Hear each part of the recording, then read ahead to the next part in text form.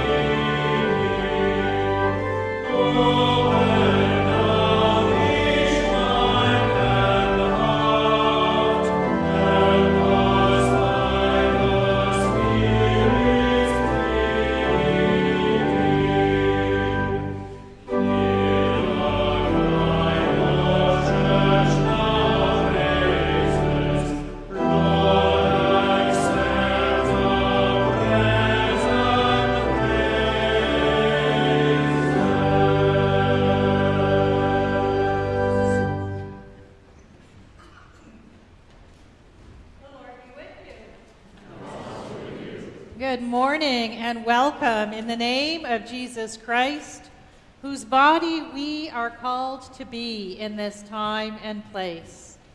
As we come together, it is God who gathers us here, calling us to follow Jesus and his ways, empowering us and enlivening us in the Holy Spirit. All this that we might be gathered into a community that prays for each other and the world, that lives and works in the love of God. Come, let us worship together this morning. Please be seated.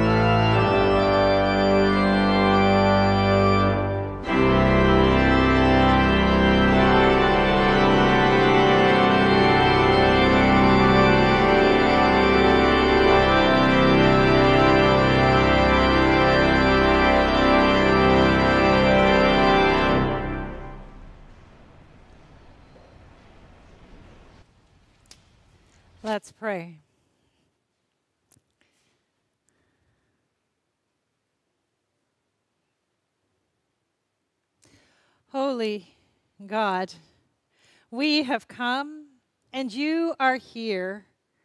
And we are gathered now as your family, seeking your presence, praying that we might feel your peace surround us and your mercy and love working through us.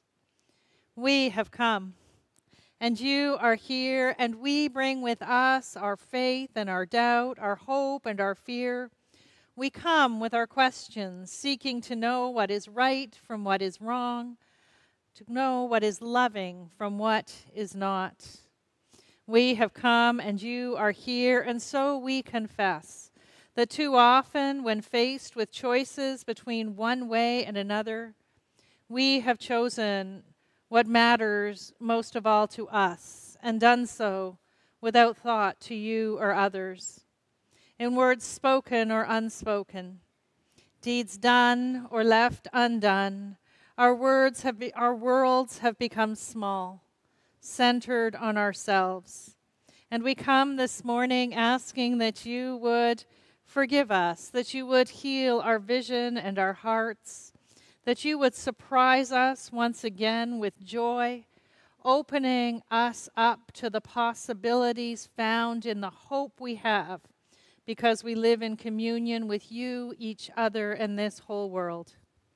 We pray these things as we come now in the name of Jesus, praying as he himself teaches us and saying together, Our Father, who art in heaven, hallowed be thy name.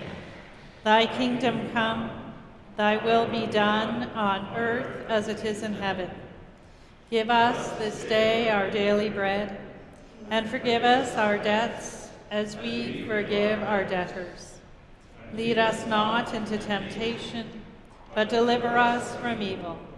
For thine is the kingdom, and the power, and the glory, forever. Amen. This is the good news that in Jesus Christ, God has come into the world to show us what love is and what the love of God looks like.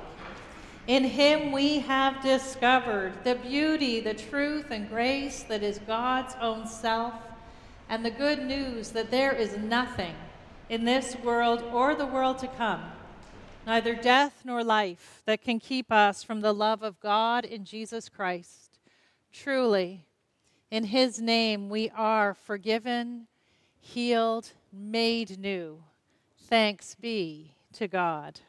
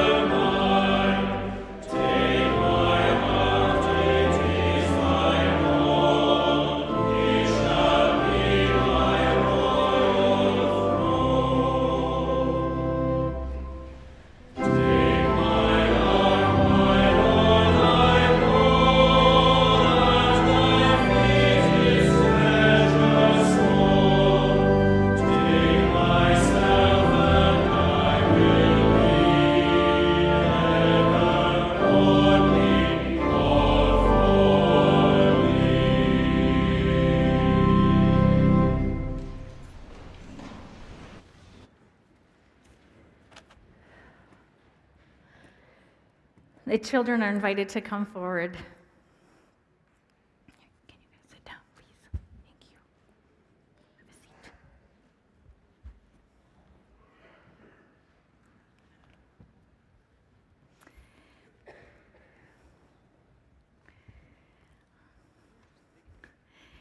So I've brought a few things today, and I want you to, I'm going to ask you if you think this is something that is easy for you to use, or hard for you to use, or sort of in between. So if it's easy, I want you to give a thumbs up. If it's hard, I want you to give a thumbs down. And if it's in the middle, or if you're not really sure, you uh, give me a in between. Okay? So the first thing I got here today is a soccer ball. Is it easy for you to use a, a soccer ball? Some have thumbs up, some have thumbs in the middle, some I see one thumb down. Yeah. All right, I've got some markers.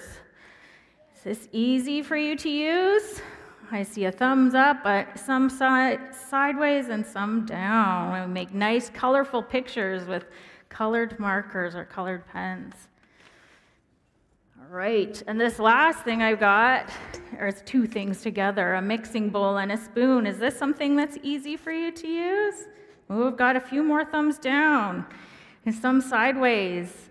A couple of thumbs up for that. Mm-hmm different people like to use these things in and it's different for everyone. Some find them easy to use, some find them hard to use, and sometimes it's in the middle.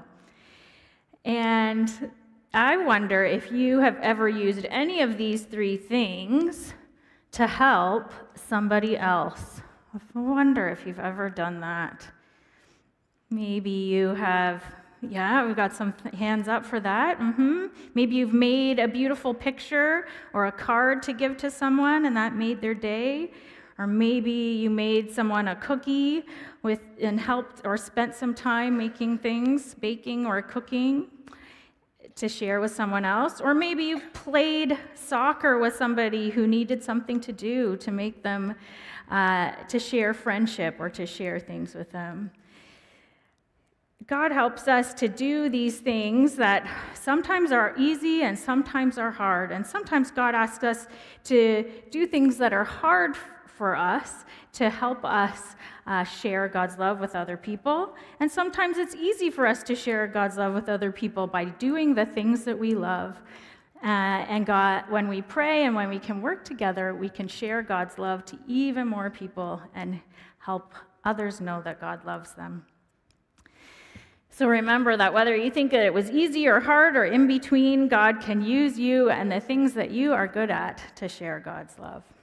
We'll pray now. I'll say a line and you can say it after me. Dear God, thank you for helping us, when it's hard and when it's easy, to share your love. Thank you for loving us. Amen. We go down this way to Sunday school today.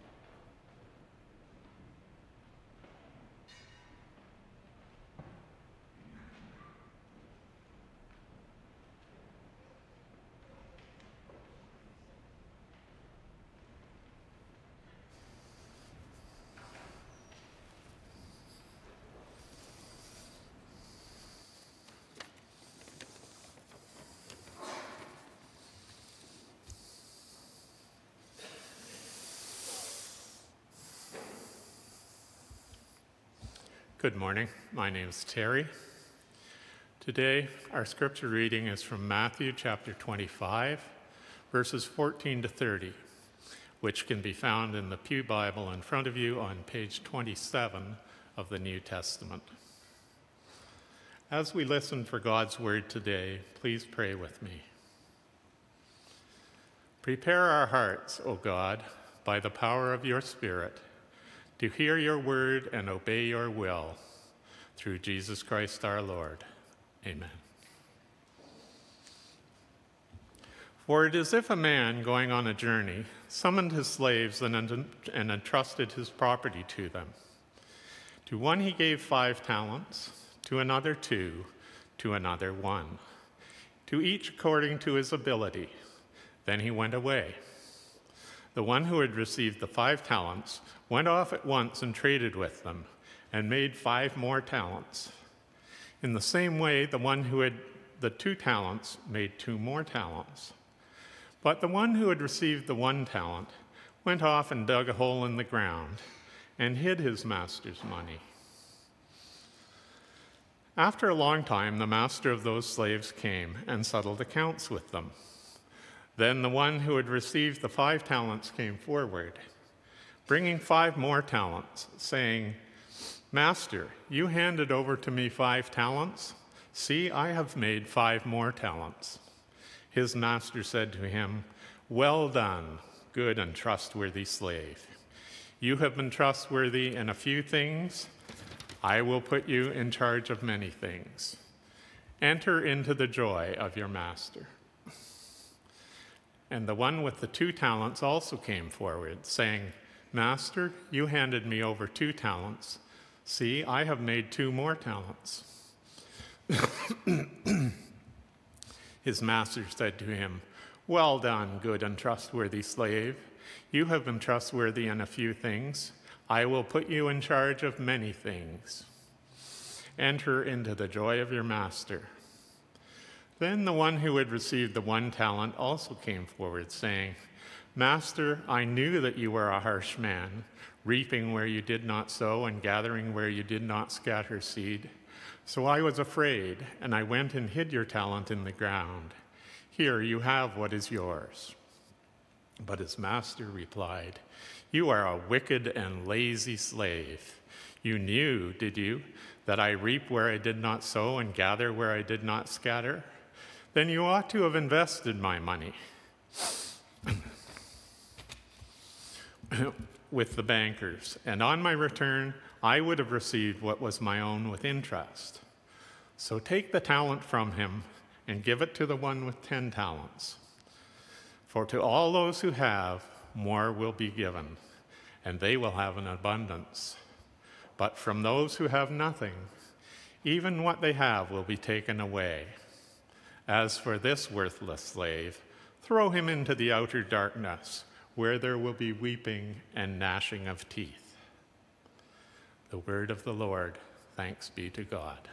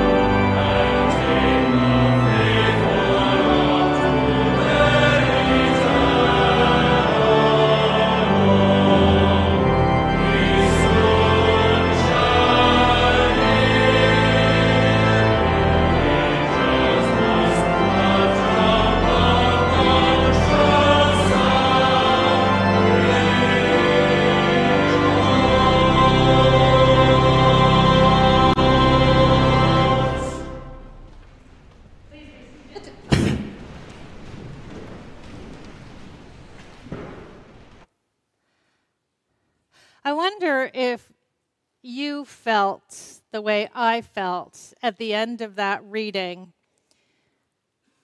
which wasn't an easy one. And then we say, This is the word of the Lord, thanks be to God. It's a parable. It's therefore not something that necessarily happened or was true. It's a story Jesus told that he threw alongside, well, that's parable. I tell you this all the time, right? Parabolus through alongside our own situations and our own living as a way to look again at what's happening around us and think about our own relationships, our own way of living, what really matters. And I tell you this because the parables of the last few weeks have sometimes been challenging just to get past with some of the images of violence in them, the language of slavery, and this one, which someone described as if ever there was a capitalist manifesto. It's, it's a hard one. It's a hard one. And so, as I think about parables and their invitation to us to consider what are the things that really matter, well, let me tell you this story, and then we'll come back to the scriptures. In the pandemic, one of the things that I started doing more was attending online workshops and webinars. They were kind of fun, and there was one I attended with Heather, not Reverend Heather, but Heather, Clerk of Session Heather. Some of our best people are Heathers. And we attended a workshop, and it was designed for church leadership and thinking about um, navigating the future. And at one point, they put us in small groups with the most fascinating exercise to engage in we were given scenarios for ministry, and then we had to pretend we were in a church council situation debating the proposal. And in the first round, we were invited to think of all the ways we could say no. Our task was to say no to this. And it wasn't, well, it wasn't very difficult. I think it was something like opening up your church grounds or basement to create a skate park for the, the youth in the neighborhood. And it was really not hard to come up with reasons to say no. I mean, there's insurance, there's safety, there's we don't know these kids. I mean, we were falling all over ourselves. We could shut that one down pretty quickly. Saying no wasn't difficult. The next round, we had to say yes. And we had to say more than yes to the situation we were given. We had to say yes, and here's what I can do to help make that happen. Okay, that was harder. The same barriers that had risen up before us in the first situation were there, but if we were saying yes, we had to think our way through them. So it was harder. But as Heather said so wisely, it felt so much better. Because by pausing and working our way through and thinking how we could say yes, we could feel possibilities open up and things change. And I tell you this story partly because, well, partly because it has stayed with me, but when I come to the parable this morning and the question of what we do with what we have arises in front of us, well, if parables are about inviting us to think about what matters, there's something that matters in stories like this. Let me say mattering matters. Have you ever thought about what, what it just means to say something matters in the first place?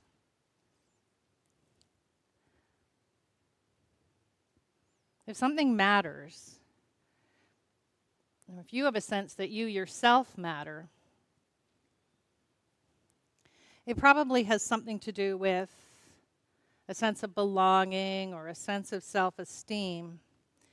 But more than that, when someone or something matters, there's a sense of it being valued. In practical terms, for a, a, human being to, to matter is to feel that you are not just that you are valued, but that the things you do add value to what's going on around you. Does that make sense? That you are not just feeling valued, but that you can add value. And when you feel like that, then you have a sense that you matter, right? And that makes a difference.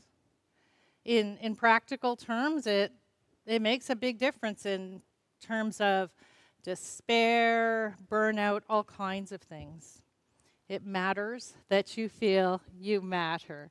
And as we come to our parable today, I think it is something about that that leaves me and probably many of you feeling more than sympathy for that third servant, the one who hides his, his the, the gift that the master entrusts him with and, and is condemned for it. It's, it's such a challenging story.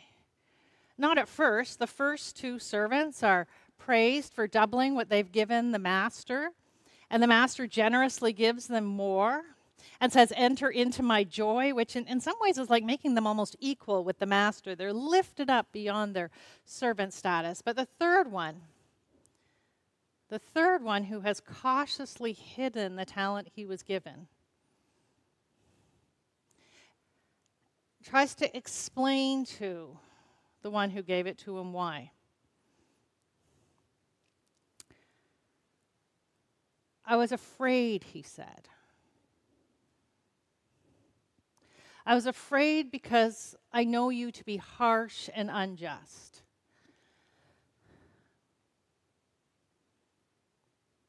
And I and that's well, we have many questions about that, right? We've just seen the master anything but with the other two servants. But we don't know what this we don't know what this third person's experience in the world is like, what what's gone on in his life. But but he genuinely is afraid. I don't know if it's about afraid to take a risk. Is he afraid that to try in case he fails? This one talent servant is hindered by fear. Maybe he doesn't have enough, he thinks. I, I don't know. But he's afraid. And because he's afraid, he holds close what he has and he hides it under the ground, away from the light. And when he does that, the parable is pretty violent, but you could sum it up by he loses everything. Usually, Jesus tells parables and speaks in ways that attack wealth and pride, and, and this, this seems so odd, doesn't it?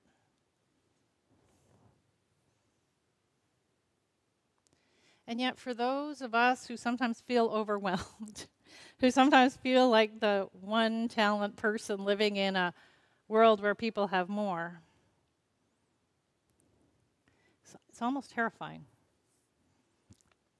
So, two things to consider that I can offer you as we look at this. One is that talent is a interesting word.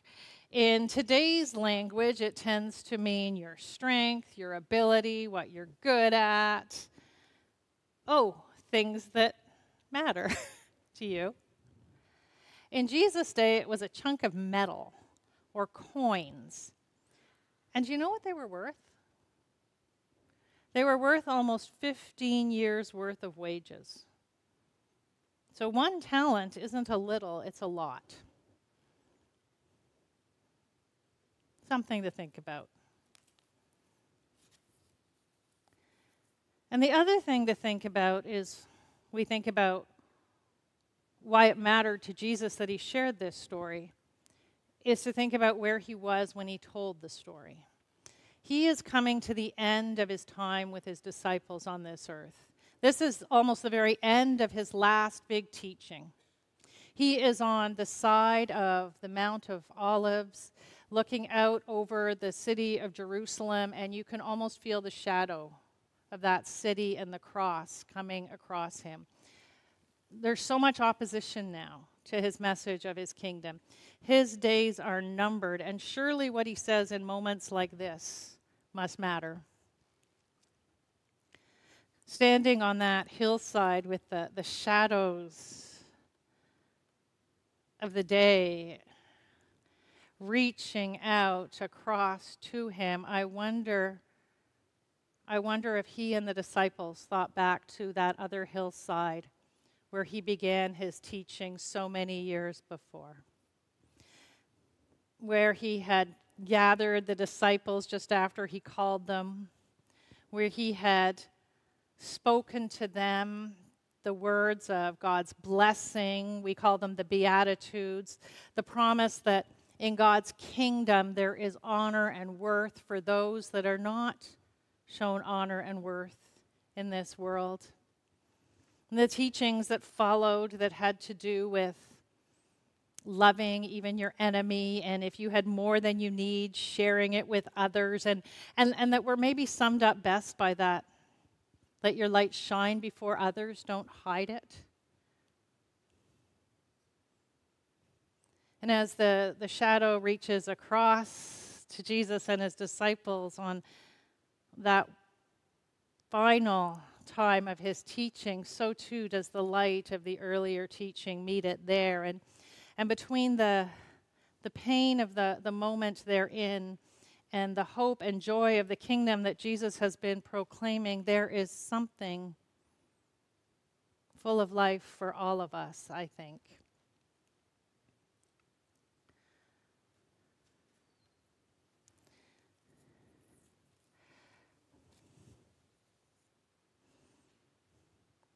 Last week, I, I, talked to you about a podcast. I'm, I'm, going to refer to it again a little bit this week. It, it has stayed with me.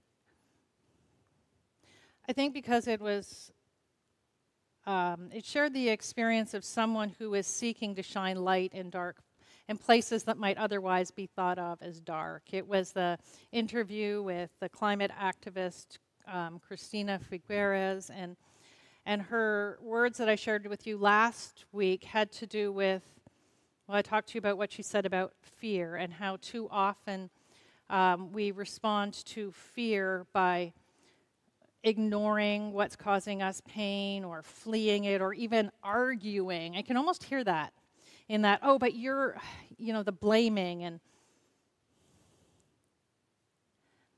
and and her invitation was to think about how you can acknowledge the pain that you feel and somehow standing in that find a way to fuel the gift of hope. If we continue to listen to what she said, and I have sent this podcast to those of you who asked, so you can ask me and I'll send it to you. She, she talked about how in her own book, about which is about climate change, there are only something like 15 pages that dwell on the horrible things and the the dire situation the planet is in now. She said the rest of the book she found it important to stand in that pain and then point to, to hope, to all the things that we sometimes don't see when we're mired in what's going wrong and only talking about what well all those things that make us feel like there's not much we can do and that our own actions are of little worth. She talks about the almost exponential possibilities of things like wind power and solar power. She talks about, about hope into a world where there's a great deal of very real pain and challenge. And she invites us to think in terms of generosity rather than scarcity, multiplying what we have rather than focusing on the limitations. So that's why I told you that story about saying yes and saying no. when we have all these limitations in front of us, it can be very easy to turn down opportunities and say no to things. But as we work through them, we discover what we do have when we seek for ways to say yes.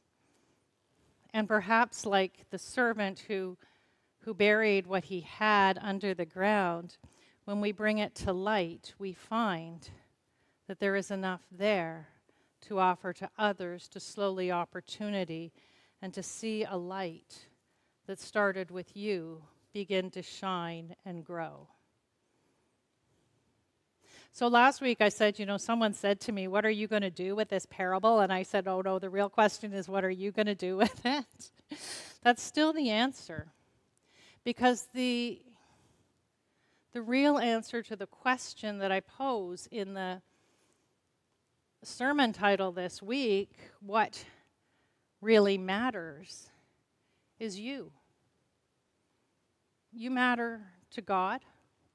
You matter to the purposes of God, to the purposes of Jesus, to the, the work and life that He is seeking even now to bring and move among us. So, if you have something to think about as you go this week, it's the, the choices we make when opportunities are put before us, the willingness to be open to something new that breaks beyond our own sense of perceived limits. If someone asks you to do something and you feel it's impossible because you feel like you're just a one talent person, stop a moment and think. If saying yes is going to help people reclaim hope, if it's going to build new relationships that are meaningful and life giving, if it's going to enfold people in a sense that they matter and you're going to discover that you have something of value to give to them, if it's going to bring attention to something as simple and gorgeous as beauty, then don't say no too quickly. Think about yes. Pray a lot. Consider what you can do to make it happen. Because we can all make a difference in that way. This is what I hear Jesus encouraging us to think about when things feel difficult and even painful. And there are so many limits out there. He raises up to us what we do have to offer. He reminds us that we are valued in God's sight with value to offer in the world, to let our light shine, not hide it under a bushel. I wonder if he's really coming back to the Sermon on the Mount, on this mountain as well. Friends, hope matters. The mission of God at work in this world, it matters. And in the midst of that, you matter. we matter. We really do. Let your life shine.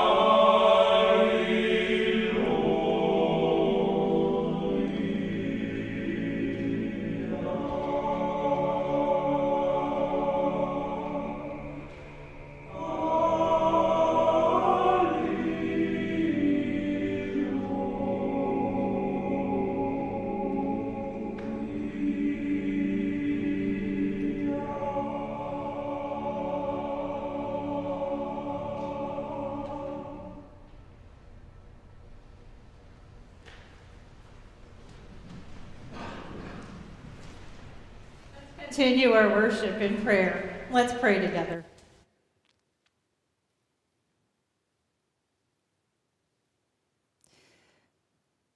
We come this morning, God, because you have promised to meet us here.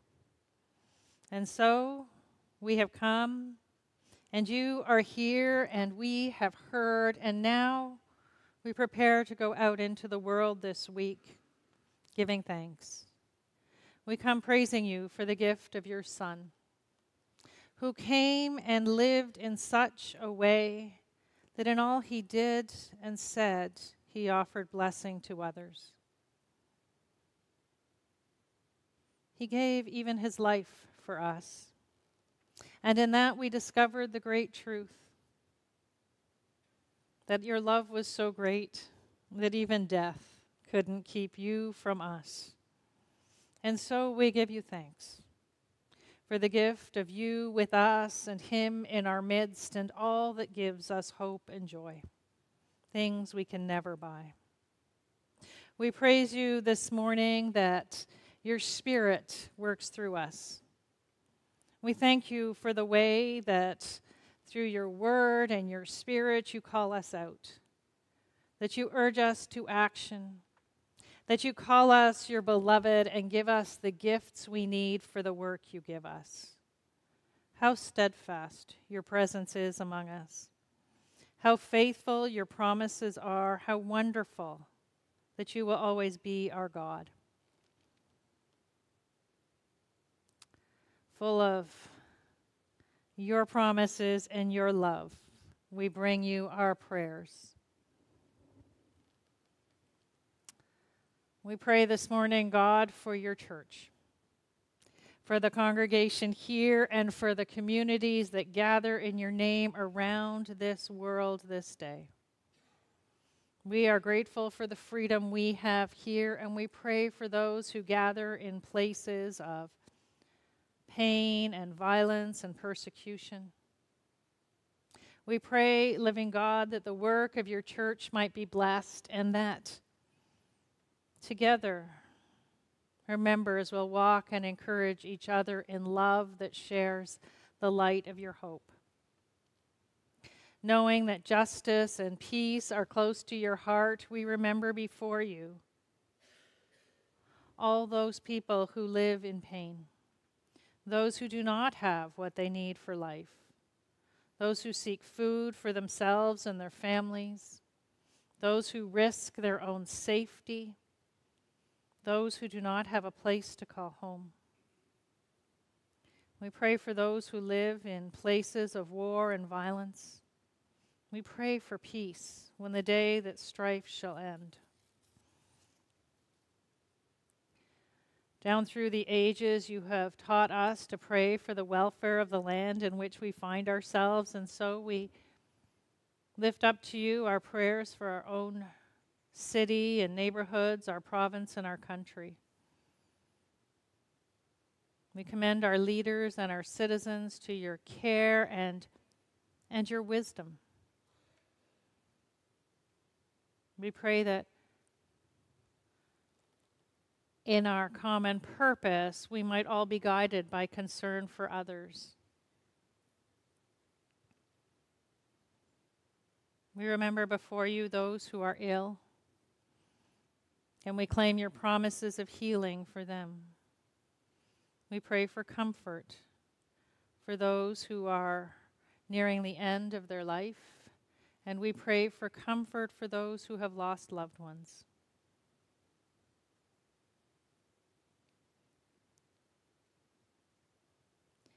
In silence, we bring you our own prayers.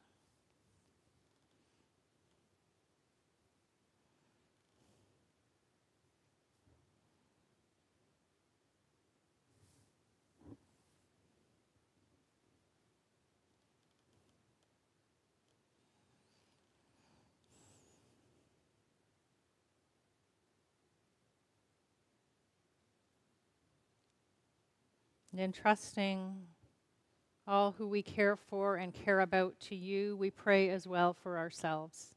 That as we go out into your world this week, we might be strengthened to love one another as you love us. Teach us to see the possibilities that are before us that share hope. Be with us that we might walk together in the light of your peace and love, holding that light out for others. In the name of Jesus. Amen.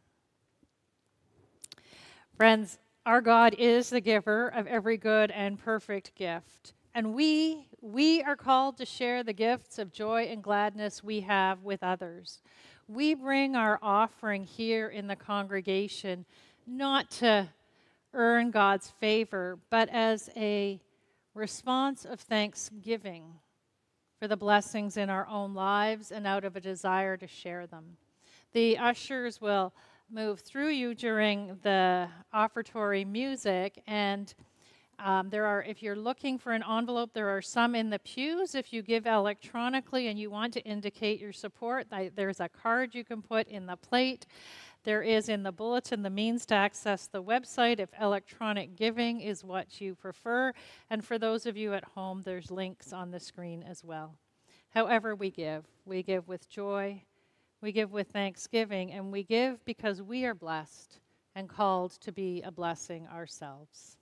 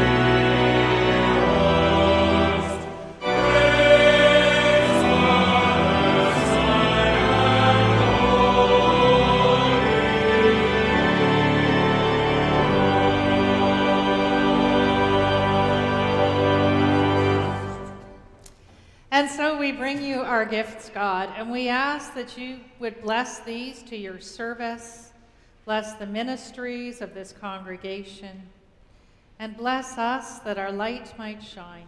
In the name of Jesus, amen. And